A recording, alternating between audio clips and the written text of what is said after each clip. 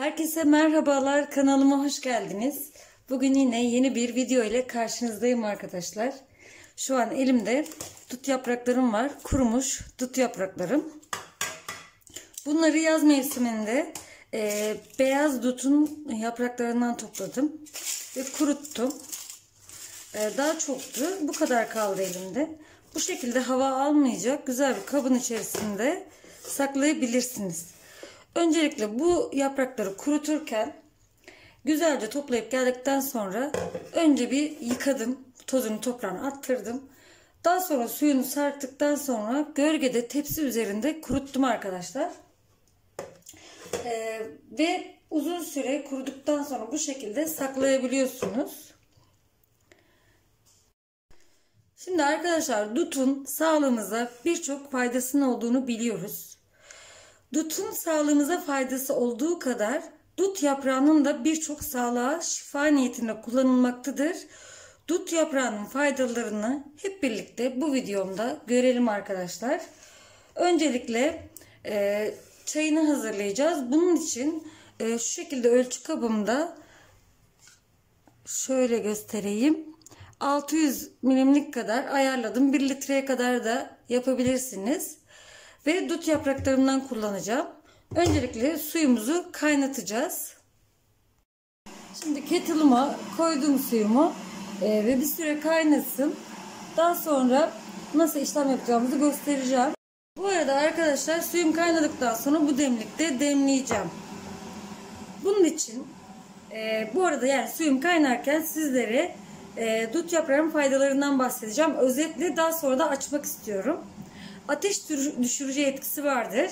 İdrar söktürücüdür arkadaşlar. Ödem attırır. Bazen fazla kilolu gözükebiliriz ama aslında vücudumuzda ödem var deriz.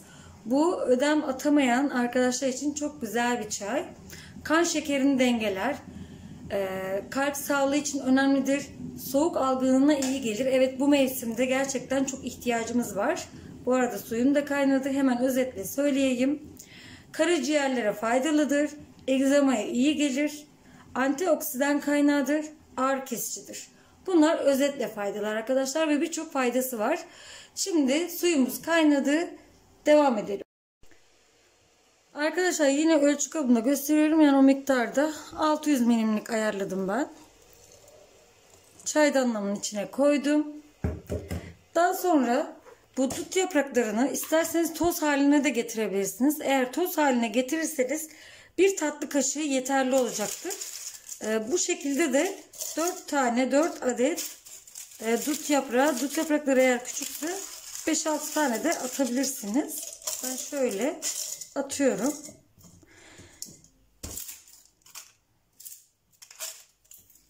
Bu şekilde e, kışın soğuk algınlığı olduğunda, boğaz ağrısı olduğunda gerçekten bize çok iyi geliyor. El yüz şişliğine de çok iyi geliyor arkadaşlar. Daha sonra gördüğünüz gibi içinde şey de vardı. Bunu bu şekilde demlemeye alıyorsunuz. Şimdi bunu bekletelim. Demlemeyi alırken şu şekilde yaptım arkadaşlar. Normal çaydanlıkta yapıyorsanız eğer ocak üzerinde kaynatın e, ve çay demliyormuş gibi yapın. Ben çaycıda yaptığım için bunun üzerine koydum ve altına tekrar su koydum. Daha rahat demlenmesini sağlamak için. Şimdi sevgili arkadaşlar tekrar e, dut yaprağının nasıl yapıldığını özetle tekrar söyleyeceğim demlemeye alınırken. 4 adet kurutulmuş dut yaprağı var.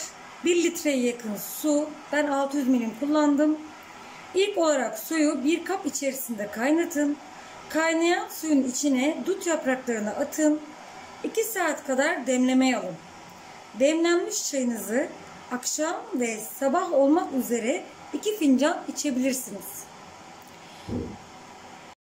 Şimdi sevgili arkadaşlar e, şöyle bahsetmek istiyorum size. Dut yaprağının faydalarını e, böyle demin özetle anlatmıştım.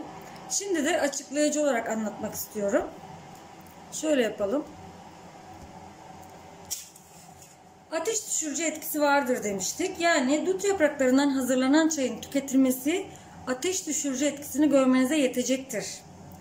İdrar söktürücüdür.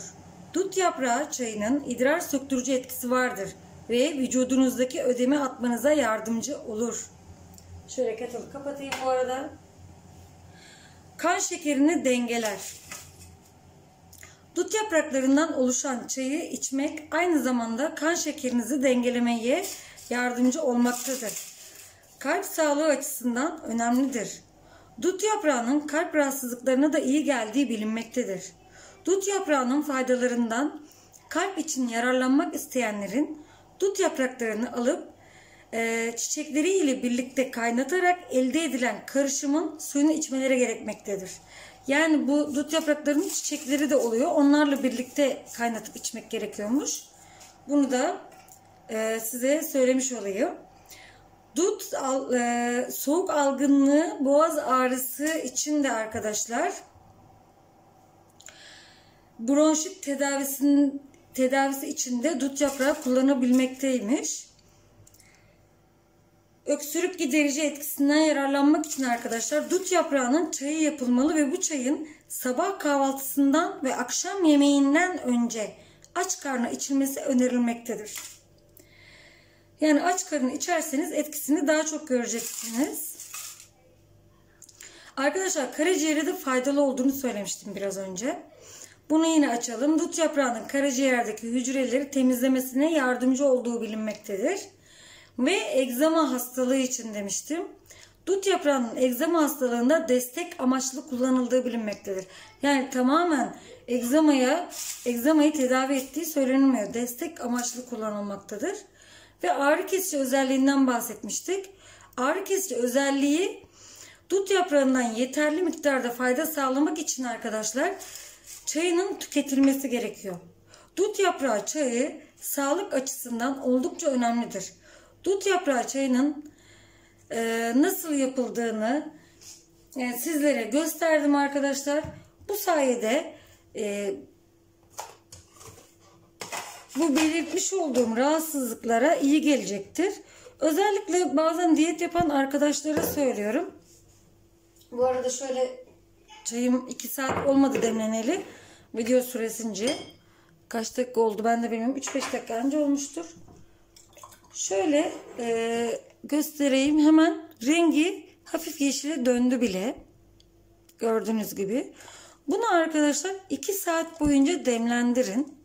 Ve sade içmeye çalışın. Öyle şeker falan koymayın içine. Ee, bilmiyorum hani böyle sade içemem diyorsanız çok az böyle bir tatlı kaşığı kadar bal koyabilirsiniz. Kış çayı olarak ister sıcak tüketin ister soğuk. Ee, ama sağlığa çok faydaları olduğu kesin. Sizlerle bu faydalı videoyu paylaşmak istedim. Ee, özellikle bu mevsimde e, birçoğumuzun rahatsızlığı var. Yani ne bileyim soğuk algınlığı rahatsızlıkları bu mevsimde daha çok zaten. Boğaz ağrısı. Hatta benim şu an boğazlarım ağrıyor ve bu çayı içeceğim. Evet arkadaşlar e, bugünkü yaşam günlüğümde sağlık vardı yine. E, bu toplamış olduğum yapraklar beyaz dut yaprağı. Daha çok faydalı olduğunu duymuştum. Önce ablamdan duydum ve denedim. Faydasını gördüm ve sizlerle paylaşmak istedim. Şimdi 2 saat sonra çayımı içeceğim.